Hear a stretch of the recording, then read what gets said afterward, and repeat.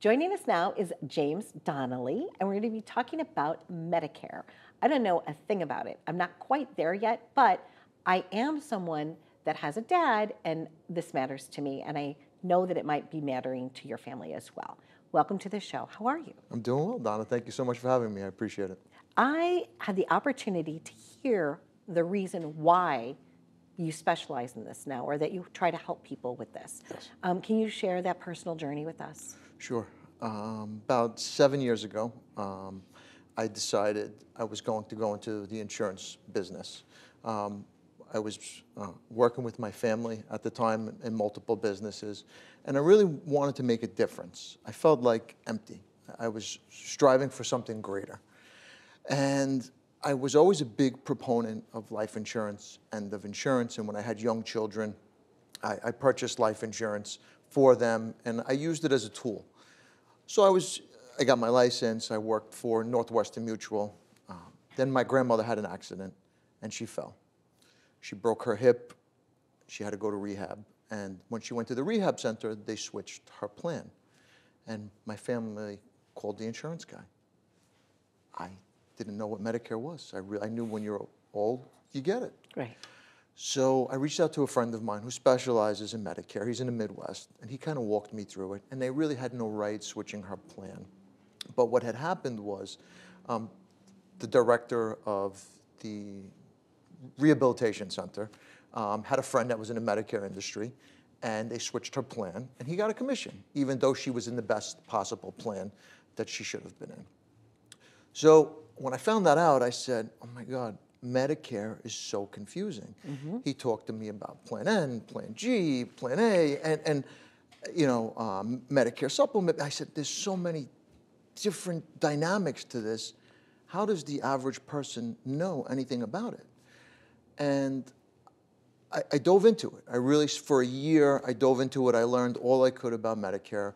I got all my certifications, my federal, and then, um, so I have to get federally certified every year. Okay. And then every company that I work with, I have to, um, you know, take a course and take tests. So it's very involved. I spend the month of September recertifying for the year. James, one of the things I've noticed is that we're inundated with Medicare commercials. And, and that was another motivating factor for me. While watching my grandmother when she was home and bedridden, and she still is, uh, there's, there's nothing but Medicare commercials on television. And you have all these trusting figures, J.J. Walker, Joe Namath. So people pick up the phone and they call because they're so confused about Medicare. But it's really a, a, a lead grab. They Okay. grab your personal information. So while you're on the phone with the operator, they're transferring you to the highest bidder. So they, they're right now, it's a live Medicare transfer. They're transferring you to the highest bidder. And then they're selling all of your personal information to every other agent or call center. Uh, And that's no one knows that. Nobody knows that. And, and as of 2024, those commercials are illegal. They're not supposed to be the J.J. Walker, the Joe Namath commercials. I And, don't and nothing wrong them. with the people that No, are working nothing. as the talent. No, It's not their fault. It's No. the company behind it that's hiring them. Exactly. And, and what they would do is they transfer you to a call center overseas, and then you would be inundated with phone calls. They take your information, and they would enroll you in whatever, whatever plan, you know, they, they thought was paying the most, let's just say.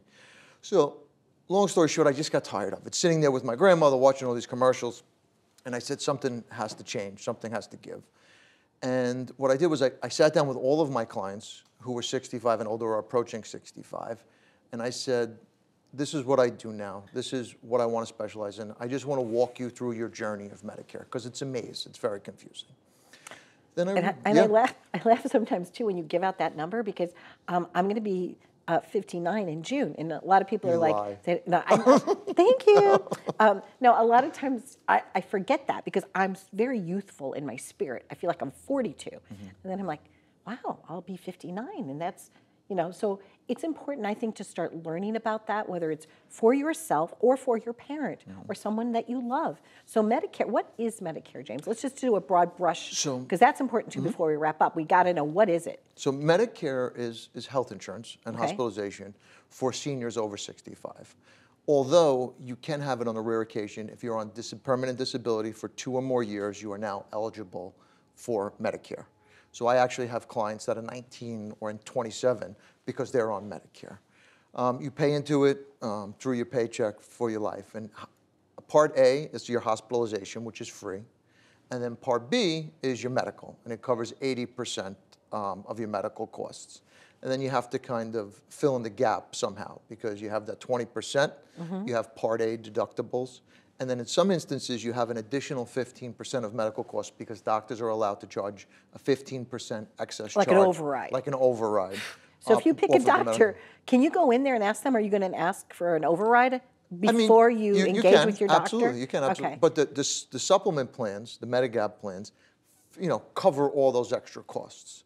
So what I do is with my clients is I sit down, I make sure that all their doctors are in network, all their drugs are covered, and they have the lowest possible drug costs. Okay. But there's so many different avenues, and everybody thinks they're okay. You know, they, they, they get on a Plan N or a Plan G, and then they think they're okay with their drug plan, their Part D. But formularies change every year, drug plans change every year.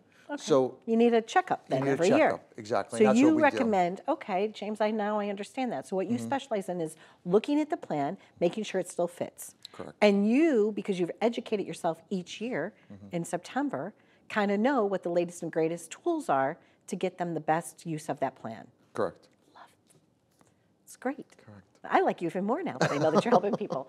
Um, what's one first step that you would want people to take with you? So And are you licensed just in New York? No, no, I'm, Okay. I'm licensed across the country. Across the country. Across the so country. Mm-hmm. everywhere that this show airs now, coast to coast, right? They could pick up the phone and they could call Safe Haven, and you'd be able to review the plan with them. Correct. Love that. Yes. Great. They're calling now. Wait. Yeah, I'll, I'll have to answer the phone for you. Um, is there anything besides? Is that a good first step though? Just That- get that that, is a- review each year. That is a, a good first step. Okay. And seniors 65 and older are the highly most targeted demographic in the U.S. You're going to get phone calls as soon as you're approaching 65. You're going to get phone calls every year during AEP and OEP. That's a whole other program, those two acronyms. Uh, you're going to get phone calls. Uh, don't answer the phone. Don't give out your personal information. I sat with a client two weeks ago. Her plan was switched or tried to switch five times since um, since October. Wow. Yeah, and so it's she had better if they are proactive and they call you as opposed to just answering some random phone call. Correct. And she had dementia. She must have given her personal information out over the phone, and they were able to switch it without even her knowing. So her, her daughter reached out to me. Lovely, lovely family. Um, so they're targeted. There's a lot of Medicare fraud and abuse going on out there. So sit down with me or another trusted Medicare advisor, somebody that you know or know of that you can trust. Uh, because these people that call you every day, they're not your friends and they're not, um, it's more transactional. I'm looking to cultivate relationships and sit down with you every year and, and make sure you're on the right plan. Well, I know that you're a good guy because I met your dad. So the restaurant that your family owns, and uh, you you come from from a good you know a, a good family. Thank so you so much, It's, Donna. It's nice to have you here. Uh, happy journeys to you and your family, and I hope this enlightens you a little bit more about what Medicare is and why we need to look at it every year. Thanks for watching.